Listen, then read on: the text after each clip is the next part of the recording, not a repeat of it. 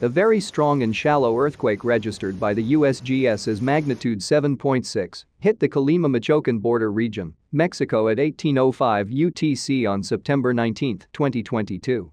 The agency is reporting a depth of 15 kilometers, 9 miles. EMSC is reporting magnitude 7.6 at a depth of 25 kilometers, 15 miles.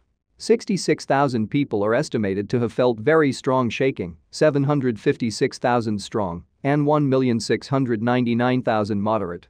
Based on the preliminary earthquake parameters, hazardous tsunami waves are possible for coasts located within 300 kilometers 186 miles of the earthquake epicenter, PTWC said.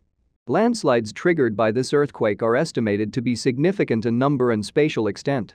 More than 200 buildings were damaged, including dozens of schools and health centers, Velazquez said during a news conference.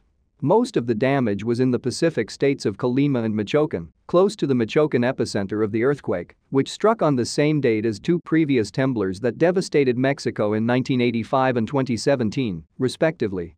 After the earthquake, the U.S. Pacific Tsunami Warning Center issued a tsunami warning for parts of Mexico's coast as waves reached 3 to 9 feet.